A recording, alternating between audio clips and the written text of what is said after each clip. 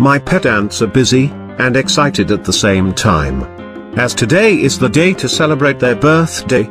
For the party, we gave them this honey glazed three layered cake. Stay tuned buddies. As we're also generous enough to give this colony a gift of house and lot, for their birthday on our next vid.